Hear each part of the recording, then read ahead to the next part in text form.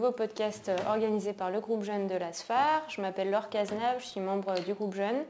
Et, Clément, Monet, bonjour à tous, je suis membre également du, groupe Jeune. Donc aujourd'hui, nous allons vous parler de green anesthesia et d'écologie. nous avons invité pour cela le docteur Jeanne Muret. Donc Jeanne, tu es membre et même présidente du groupe développement durable au sein de l'ASFAR. Est-ce que tu peux nous en dire un peu plus sur te présenter et euh, ton engagement. Donc, euh, bah, merci beaucoup de m'avoir invité. Donc euh, effectivement, je suis présidente du groupe développement durable de l'ASFAR qui a été créé en 2016. C'est un groupe pluridisciplinaire qui comprend des médecins anesthésistes, des chirurgiens, des IAD, des IBOD et des pharmaciens. Et voilà, qui vise à promouvoir une pratique plus durable en réanimation et en anesthésie. Et euh, je veux juste dire un petit mot euh, que ce groupe a été créé en fait euh, suite à le congrès phare de 2015 dans lequel il y avait eu une présentation, une première présentation sur les développements durables qui avait eu beaucoup de succès. Et bah, à plusieurs, on s'est dit que c'était le, moment, était venu de, lancer ce groupe et d'essayer d'amener nos collègues à avoir des pratiques plus durables. Donc euh, merci. La, conscience écologique, elle devient de plus en plus prégnante et bien au-delà euh, de, ce qu'on peut faire au quotidien, euh, ça s'impose vraiment comme un art de vivre avec l'émergence de nouveaux concepts comme l'éco-psychologie ou l'écologie sociale. donc au final, entre juste faire du vélo ou recycler ses déchets, on veut aussi l'appliquer dans, dans, notre travail, du coup en anesthésie et par les techniques un peu plus green. Le, bloc opératoire, c'est le premier euh, producteur de déchets au sein de l'hôpital. Euh, donc, euh, on consomme énormément d'eau, de gaz à effet de serre, d'énergie. Et lorsqu'on se rattache à des exemples, ça donne vraiment le vertige. donc j'ai fait un petit peu de recherche et donc d'après ce qui a été publié, la production de déchets par an, par exemple au CHU de Clermont, a été estimée à une tonne par lit et par, par an une tonne de déchets, donc c'est vraiment hallucinant. Ou même lorsqu'on fait une opération euh, chirurgicale, donc moyennée sur toutes les anesthésies générales euh, au sein du, CHU, euh, on, consomme exactement l'équivalent de 160 kg équivalent CO2, soit un trajet Paris-Lyon aller-retour. Donc c'est vraiment fou. Euh, il y avait aussi le John Radcliffe Hospital qui avait euh, cherché à évaluer leur euh, empreinte carbone au sein de leurs anesthésies et ils avaient trouvé en 2011 qu'ils émettaient 5000 tonnes d'équivalent CO2 par an, ce qui est littéralement énorme. Donc est-ce que en quelques minutes, vous pourriez nous expliquer un petit peu déjà pourquoi, comment et ce qu'on peut faire pour essayer de limiter cela? Oui, donc tout à fait. comme comme Laure vient de, nous l'expliquer, euh, voilà, les établissements de santé, c'est des gros pollueurs. Alors, pour faire juste un petit rappel, euh, donc on a euh, un réchauffement climatique qui est en cours, hein, qui est lié à l'accumulation de gaz à effet de serre dans l'atmosphère. Ce réchauffement, il entraîne un changement climatique et qu'on observe avec ben, l'augmentation des températures, euh, l'augmentation du niveau des mers, la fonte des glaciers. On voit ici ben, euh, entre 1975 euh, et 2015 voilà, la fonte des glaciers, une acidification des océans et des événements extrêmes, sécheresse, inondations, pollution de l'air. Et les scientifiques du monde entier, du GIEC, hein, les scientifiques ont euh, maintenant conclu que c'est nos activités humaines qui sont responsables de ce réchauffement global et de ce changement climatique, et non pas les changements de cycle. Donc c'est de notre faute. Et euh, tout ça, c'est lié à l'accumulation de ces gaz à effet de serre, en particulier le CO2, hein, qui est le principal gaz à effet de serre, mais il y a d'autres gaz à effet de serre, on va en parler.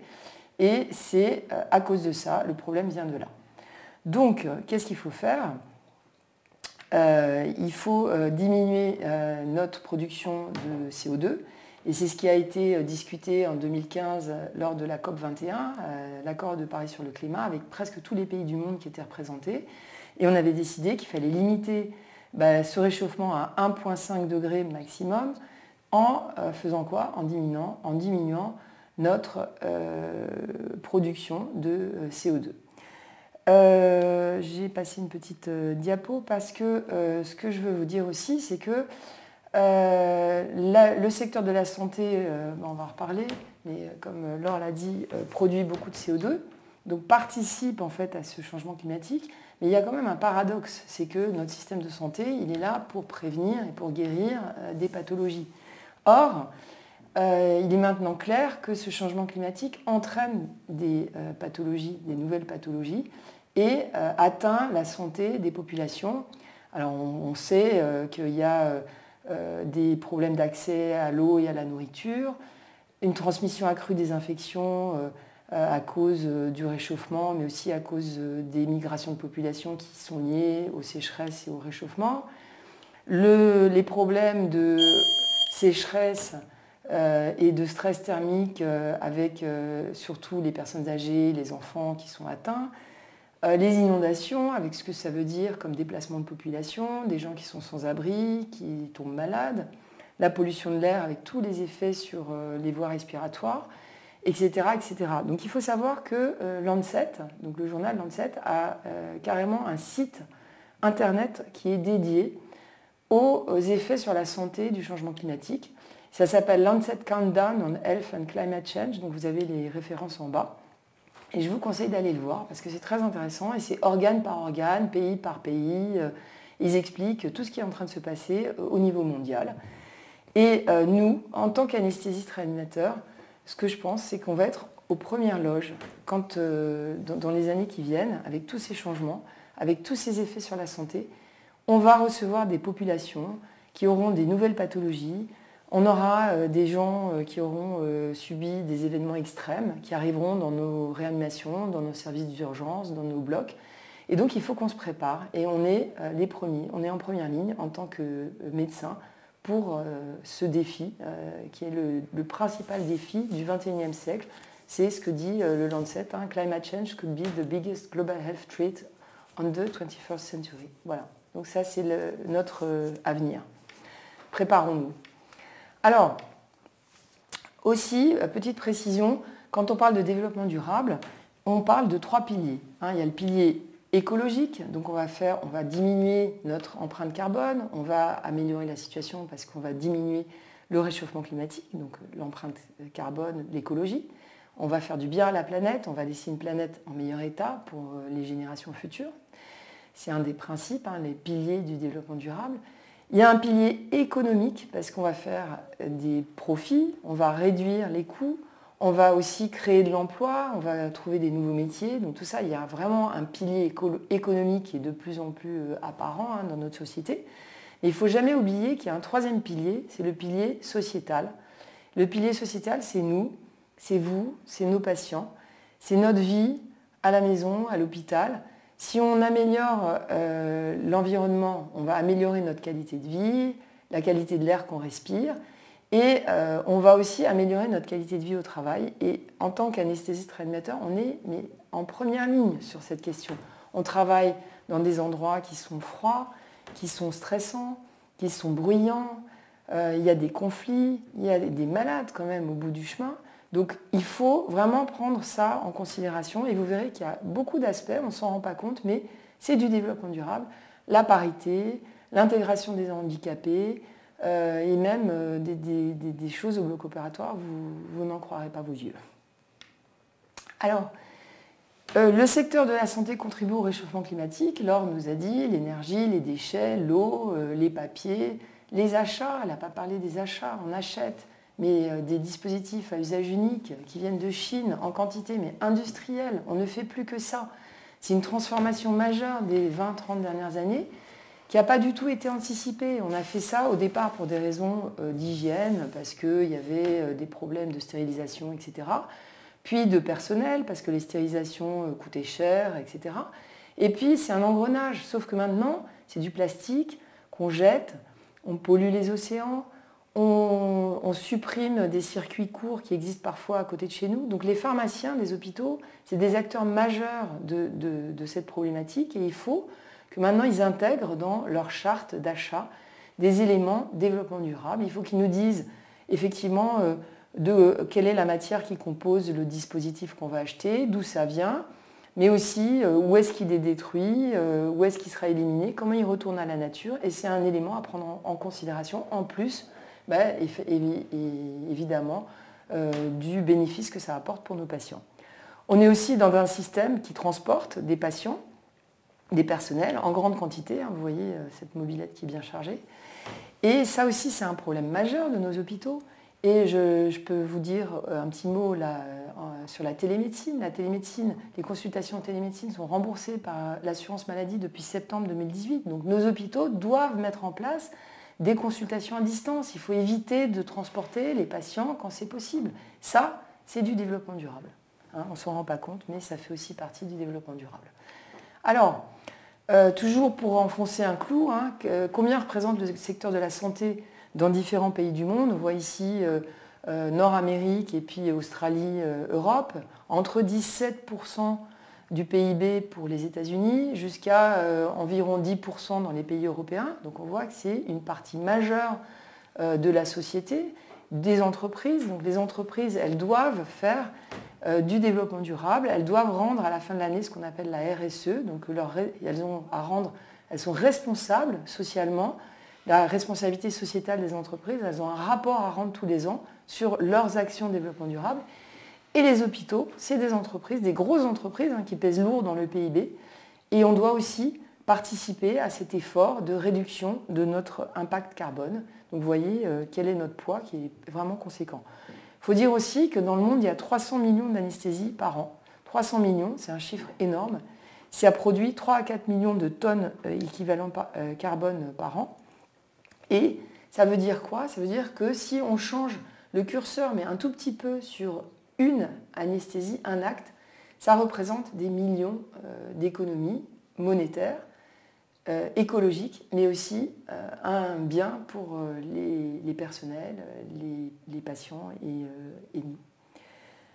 Alors, qu'est-ce qu'on peut faire au bloc opératoire hein? La question c'est ça. On peut diminuer notre consommation d'énergie, puisqu'on en consomme trop. Et au bloc opératoire, c'est assez facile, parce que les blocs opératoires, ils ne sont pas utilisés 40% du temps. Et notre collègue euh, Mehdi El Afani, qui travaille à l'hôpital Tenon, qui fait partie du groupe développement durable, il a fait un très joli travail. Il a montré que si on réduit la ventilation, la climatisation, le chauffage du bloc opératoire quand le bloc opératoire est fermé, eh bien on économise la moitié en, en euros et la moitié en coût carbone. Donc c'est un point très important. Il faut aller voir nos ingénieurs dans les hôpitaux, leur dire écoutez, faites en sorte que on puisse couper euh, l'énergie quand on n'en a pas besoin, comme à la maison. En termes de déchets, euh, on va en reparler juste après, mais euh, il faut diminuer les déchets, donc il faut bien penser à ce qu'on achète, est-ce qu'on en a vraiment besoin, peut-être repasser dans certains cas à des dispositifs qu'on peut réutiliser, qu'on peut stériliser. Et ce qu'on jette, il faut recycler parce qu'on a du plastique, des cartons, des papiers, toutes sortes de déchets, des métaux. Et euh, il y a une obligation hein, pour les entreprises de recycler les, cinq flux, le carton, le bois, le métal, le papier, etc. L'hôpital doit aussi mettre en place ces dispositifs de recyclage et au bloc opératoire, en réanimation, il y a plein de choses à recycler. Le tout, c'est de trier mieux ces déchets au bloc opératoire. On en parlera dans une minute. On peut économiser l'eau, on peut économiser le papier, on peut passer, euh, par exemple, les rapports d'anesthésie peuvent être informatisés, ça évite de les imprimer, d'utiliser du papier. Donc on peut diminuer notre consommation de papier, on peut arrêter d'imprimer des trucs inutiles. On peut donc travailler, euh, on voit ici, euh, sur les achats avec les pharmaciens, diminuer euh, l'usage unique, repasser à des choses qu'on peut stériliser dans certains cas, il faut réfléchir à tout ça. Et l'anesthésie, c'est les gaz anesthésiques. Et maintenant, je crois que tout le monde sait que les gaz anesthésiques, c'est des gaz à effet de serre, que ce soit le protoxyde d'azote ou le desflurane, isoflurane, sévoflurane, allotane que euh, c'est des gaz qui sont très polluants, qui s'accumulent dans l'atmosphère et euh, qu'il faut essayer euh, de réduire, réduire leur utilisation et voire peut-être les supprimer dans le, dans le futur, on ne sait pas. Mais il faut savoir qu'à chaque fois qu'on endort un patient avec un gaz inhalatoire, on produit beaucoup de gaz à effet de serre. Alors, le développement durable, c'est un projet de développement durable. On dit toujours qu'il faut faire les trois R. Il faut réduire, réutiliser et recycler. En anesthésie-réanimation, on a ajouté deux R. Il faut repenser et euh, faire de la recherche parce qu'il y a plein de choses à, étudier, à analyser et à améliorer. En ce qui concerne la réutilisation et le recyclage, on voit, on peut recycler les métaux, aluminium, euh, les enveloppes de fils sont en aluminium, euh, les bouteilles de ces des, sont en aluminium, donc il faut pousser les industriels à mettre en place des filières de recyclage pour ces, euh, bouteilles, et c'est valorisé 500 euros la tonne. Le cuivre qui est contenu dans les euh, câbles de bistouri, c'est aussi valorisable, 1500 euros la tonne. Le métal, les lames de laryngoscope, les pinces autosutures des chirurgiens, 750 euros la tonne. Les plastiques divers et variés qu'on voit ici, ces très jolies couleurs, ça peut être valorisé avec euh, des associations du style les bouchons d'amour.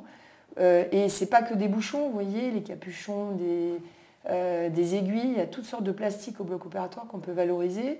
Et à l'Institut Curie où je travaille, on travaille avec une association qui s'appelle les bouchons d'espoir et qui valorise ces plastiques pour acheter des sièges pour les handicapés sportifs. Donc voilà, c'est assez sympa.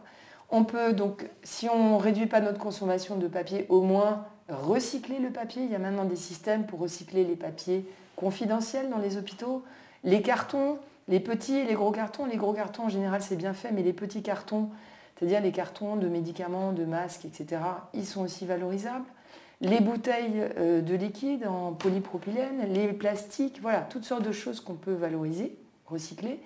Et il y a aussi la possibilité de reprocesser certains dispositifs à usage unique. Ce n'est pas encore possible en Europe, mais aux États-Unis, vous pouvez aller voir les sites de ces associations.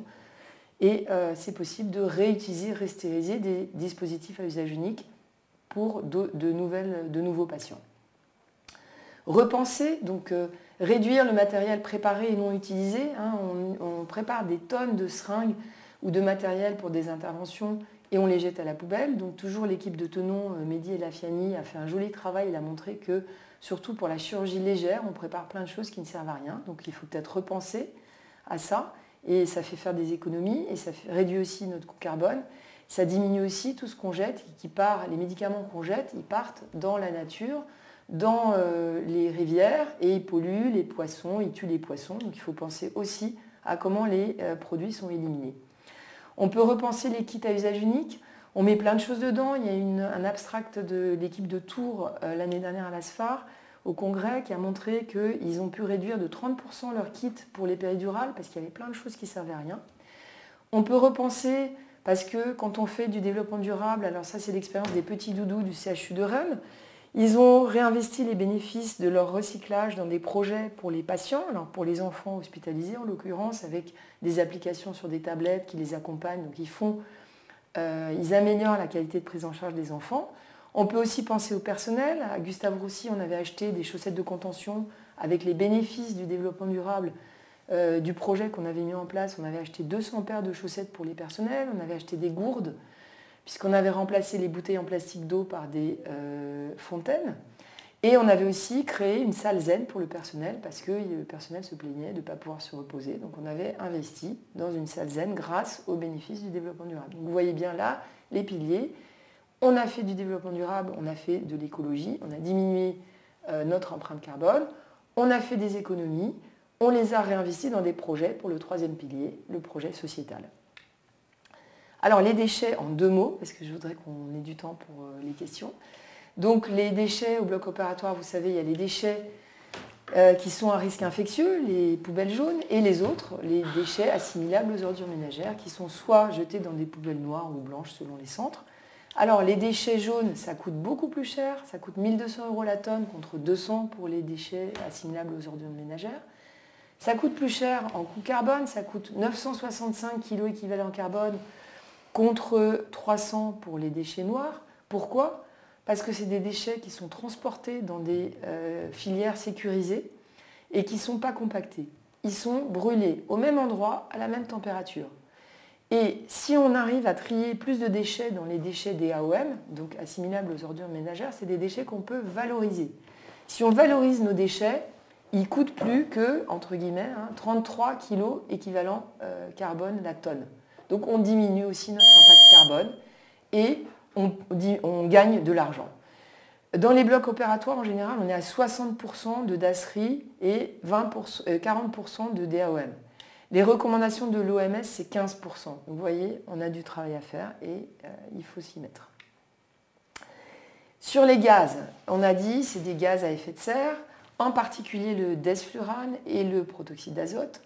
Et euh, on a des collègues en Suède là, qui préconisent de, pour réduire l'utilisation des gaz en anesthésie, de ventiler les patients à 200 ml minute d'oxygène pur, à la ventilation métabolique. Donc c'est une étude qu'il a faite et il a montré que si vous passez euh, du desflurane ici à 2 litres minute pour 8 heures d'anesthésie, une journée de travail, l'équivalent carbone euh, terrestre en voiture, c'est Paris-Johannesburg. Si vous faites 200 ml minute d'oxygène pur pour 8 heures de travail de desflurane, vous, êtes, vous faites Paris-Berlin. Si vous faites 8 heures de CEVO à 2 litres minute, vous faites Paris-Londres en 8 heures de travail. Si vous faites 200 millilitres de sévoflurane en oxygène pur pendant 8 heures, vous allez de Paris à l'aéroport Charles de Gaulle. Donc vous voyez quel impact c'est euh, la différence d'impact qu'il peut avoir selon quel gaz on utilise et à quel débit de gaz frais on l'utilise. Il y a une application qui a été euh, euh, développée par les Anglais, que j'ai mis la référence en bas, que vous pouvez charger sur vos smartphones. Et pour chaque patient, vous pouvez calculer l'impact carbone de votre patient et qu'est-ce que ça représente en kilomètres en voiture. Donc c'est très intéressant, ça permet de voir ce qu'on fait et tout de suite de faire des économies. Alors pour conclure, le groupe développement durable, il a euh, euh, édité un guide avec le C2DS, une association qui fait du développement durable en France dans les établissements de santé. C'est une association. Euh, il y a deux ans, c'est un guide qui est maintenant téléchargeable en ligne. J'ai mis le, lien en bas. Il est aussi téléchargeable sur le site de l'ASFAR, sur l'onglet développement durable, mais je vais mettre à la fin les liens. Et dans ce guide, vous trouverez un chapitre sur les achats, un chapitre sur les gaz, un chapitre sur les déchets, un chapitre sur le sociétal et tous les projets qu'on peut faire au bloc opératoire en réanimation euh, dans le développement durable euh, onglet sociétal. Et enfin, euh, sur l'éco-conception des soins au bloc opératoire, le coût carbone de ce qu'on fait, leur disait 160 kg équivalent carbone par cas, comment c'est calculé, comment il faut faire, quelles pratiques? Et comment pour chaque pratique, pour chaque changement de pratique, il faut maintenant bah, intégrer euh, ce concept. Voilà, donc euh, Go Green avec euh, la Green. Hein, on, participe au changement climatique avec notre production de CO2. Il faut qu'on fasse quelque chose. Et il y a des stratégies qui existent. Il n'y a plus qu'à les mettre en place. Voilà, je vous ai mis là le site de la SFAR, notre adresse, mon adresse aussi professionnelle si vous voulez me contacter. Euh, et, le lien pour euh, télécharger le guide. Je vous remercie. Merci beaucoup, merci beaucoup. Jeanne, pour cette présentation euh, très intéressante. C'est un sujet auquel je n'étais pas particulièrement sensibilisé jusqu'à présent, mais du coup j'ai appris beaucoup de choses dans cette présentation. ma première question que je voulais te poser, c'est pour revenir sur les gaz d'anesthésie. Donc tu en as parlé, c'est des gaz à effet de serre qui polluent avec en tête le desflurane et le protoxyde d'azote qui seraient les plus polluants.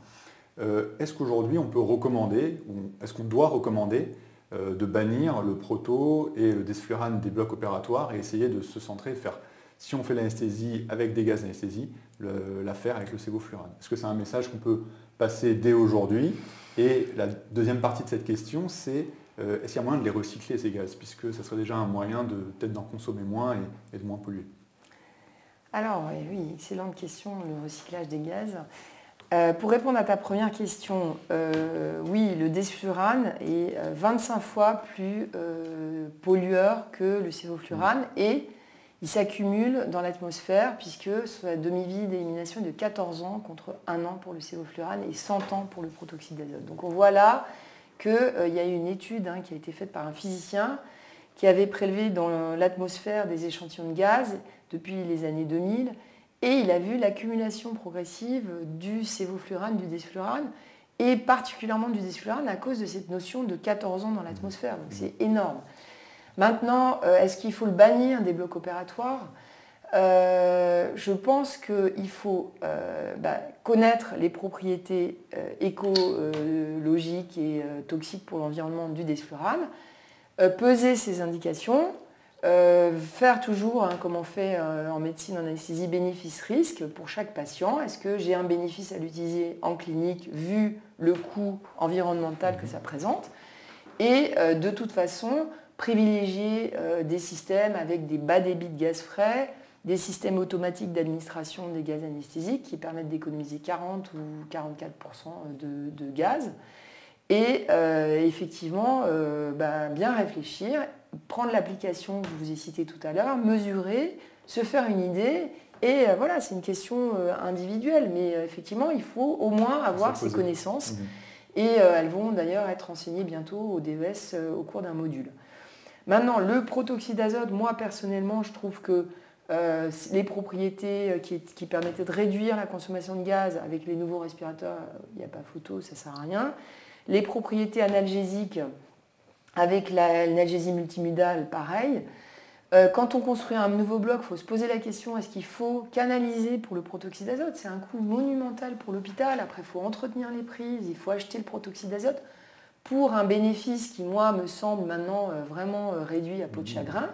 Donc voilà, déjà, le fait de se poser la question, je crois que c'est important et euh, de, diffuser cette idée autour de vous, euh, les, internes, euh, les autres médecins. Hein. Souvent, ça vient des internes, c'est les internes qui apportent aux médecins qui sont en place ces nouvelles informations. Et les IAD, et tout le monde, que tout le monde soit au courant. Et je pense que quand on aura conscience du problème, ça sera déjà un grand pas en avant. Mmh. Et pour la partie recyclage du coup des gaz Alors le recyclage, il y a des,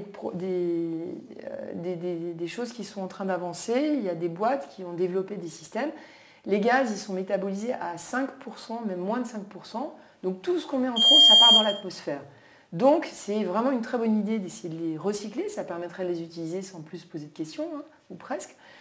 Mais euh, bon, euh, c'est encore à l'état de prototype, mais il y a des projets, il y a une boîte anglaise, une boîte canadienne, et surtout ce qui est intéressant, c'est que les industriels qui fabriquent les gaz, maintenant, ils s'intéressent au recyclage, parce que eux aussi, ils ont la RSE à la fin de l'année, ils ont à réduire leur euh, production de gaz à effet de serre, et donc eux aussi, ils s'y mettent, et c'est très bien. Très bien, merci. Donc on a bien compris, le bloc opératoire, c'est le premier pollueur à l'hôpital. Euh, qu'est-ce que tu penses d'idées qui peuvent paraître fantaisistes à l'heure actuelle, euh, à savoir utiliser des sources vertes d'énergie, l'éolien, euh, de l'énergie solaire pour faire fonctionner les blocs opératoires ou le recyclage des compresses en tissu par exemple? Moi je pense qu'il n'y a, a, rien qui est utopique et il n'y a rien qui est vain. Et il y a vraiment des établissements qui ont fait qui des projets assez hallucinants avec des potagers sur le toit, euh, des, systèmes de recyclage de l'énergie très intéressants. Donc tout est bien, où il y a même un hôpital euh, qui euh, utilise le bois pour sa chaufferie, donc circuit court. Donc vous voyez, tout est intéressant. Et je pense que voilà, développer des projets, avancer, posez-vous des questions. Et à cette occasion, je voulais juste dire que cette année, au, au congrès de la SFAR, il n'y aura pas de concours photo, il y aura un concours en partenariat entre le groupe jeune et le groupe développement durable sur euh, votre meilleur projet euh, développement durable. Et donc si vous avez des projets, même des projets pas réalisés, hein, même des idées, il faudra les envoyer. Et il y aura euh, à la clé à gagner, un lot. Ouais, je te laisse. Ce sera un vélo, voilà, pour un vélo se rendre à électrique. verte. Donc participez et donnez-nous des idées. Voilà. Euh, très bien. Moi, j'ai euh, une deuxième question euh, à poser. forcément, il y, a, de l'inertie à l'hôpital, il y a aussi des gens qui vont être des détracteurs à, ces changements, à cette prise de conscience, avec notamment un argument qui est que l'anesthésie, au final, c'est qu'une goutte d'eau par rapport à la pollution créée par les industries, l'automobile, etc. Et qu'est-ce qu'on peut répondre Qu'est-ce qu'on peut répondre à ces détracteurs cet argument en tout cas bah, Qu'ils euh, ont euh, des enfants, s'ils n'ont pas des enfants, il y a des gens qui viendront après eux, qu'il faut qu'ils leur laissent une planète euh, en bon état de marche. Et que certes, l'anesthésie, c'est une goutte d'eau, mais une goutte d'eau de 300 millions d'anesthésie dans le mmh. monde par an, c'est énorme. Il faut savoir qu'il y, y, a une étude qui a été publiée cette année qui a comparé le coût carbone d'une cataracte en Inde et en Europe. Et c'est monstrueux. En Europe, on dépense 30 fois plus en coût carbone pour une cataracte. La cataracte, en France, c'est 700 000 interventions. Mhm. Donc vous voyez, une petite, déplacer le curseur de très peu, ça peut vouloir dire beaucoup de choses en anesthésie parce qu'il y a beaucoup de chiffres. Mhm.